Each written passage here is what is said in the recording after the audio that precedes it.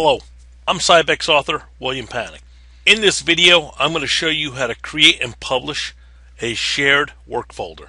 So what we're going to do is we're going to go ahead and click on the C drive and I'm going to right click and I'm going to say new folder and for this exercise we're going to name it test share. We're going to go ahead and we're going to right click on it and we're going to choose share with specific people and that brings up the file sharing dialog box.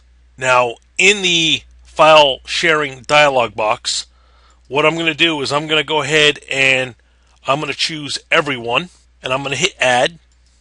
And then I'm going to click on the everyone and I'm going to say everyone can read and write this particular folder.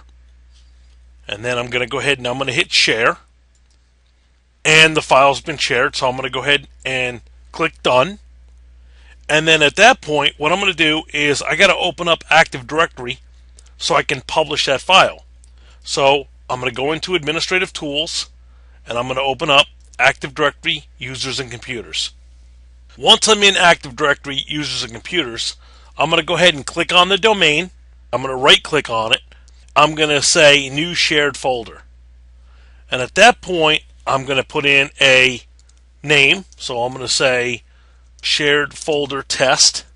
Under the network path, I'm going to go ahead and I'm going to put in the path name of that shared folder. Server A slash test share.